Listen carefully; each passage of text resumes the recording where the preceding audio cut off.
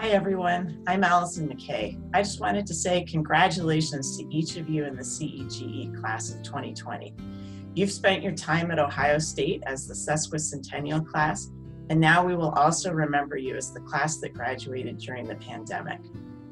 I know that the last two months have had a lot of upheaval, and there's still uncertainty as you're moving forward into your careers or to graduate school or whatever other plans you may still be making. Still, this is a really exciting time for civil and environmental engineers. There are a lot of interesting challenges in water, transportation, and built infrastructure that need to be addressed. You're taking with you the knowledge, skills, and personal networks that you've built over four years. They will contribute to your success in meeting these societal needs.